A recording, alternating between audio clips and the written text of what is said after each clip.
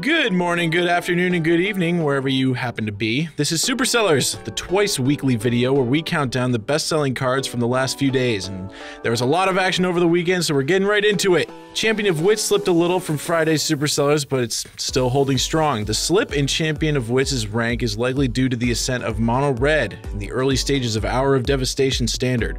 Once the format normalizes a little bit back towards mid range, Champion of Wits' sales will recover. Mirage Mirror also slipped a little bit, but that doesn't really mean a thing. The card is still great, and its desirability in casual formats make it a strong investment, something that'll keep value or slowly climb for a while. Be wary though, Mirage Mirror is exactly the kind of card they like to reprint in commander decks. Still though, who doesn't want to say they have an original Mirage Mirror from Hour of Devastation, am I right? The mono red deck in Standard is for real, thanks in large part to Ramunap Ruins. In 2017, mono red decks are capable of dealing 20 damage with just their mana base. Barbarian Ring never had it this good. The only two basic lands to make the top 10 this week are Swamp and Mountain, likely because two of Standard's best aggressive decks require either a lot of mountains or a lot of swamps. That's simple. Supreme Will finally takes a little bit of a dive in the rankings, but it's still holding strong in the top 10. Mono Red's ascendance in Standard has had a huge ripple effect, and the fact of the matter is that Supreme Will isn't very mana efficient when it's up against a deck with a lot of 2 drops. Blue decks will still want it, but for the time being, blue decks are being pushed out of the spotlight.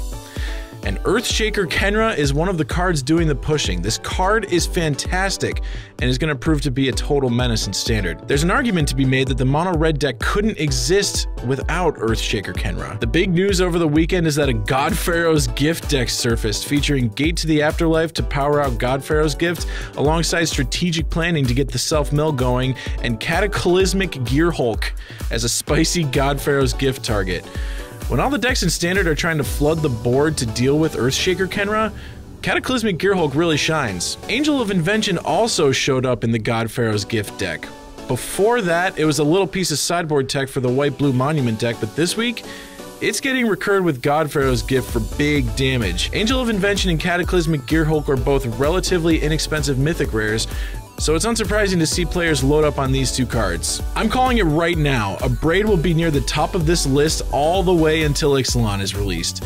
It's efficient, it's better than Harness Lightning in certain spots, and it's new, which means players don't already have it yet. And our best seller this week is God Pharaoh's Gift. This deck won an online Pro Tour qualifier over the weekend. I would be scared to play God Pharaoh's Gift with all the Abrades floating around, but apparently the deck can stand up to main deck artifact removal.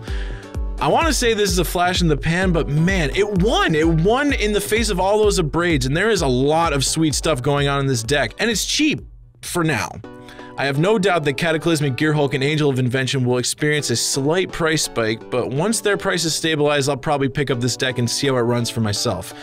It looks like a blast. Milling yourself feels weird at first, but it's a good time, I promise.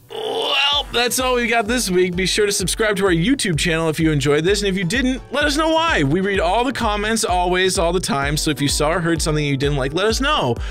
Or, you know, if you like this and you want to see more of it, you, let us know that too. We love the shoutouts. See you Friday.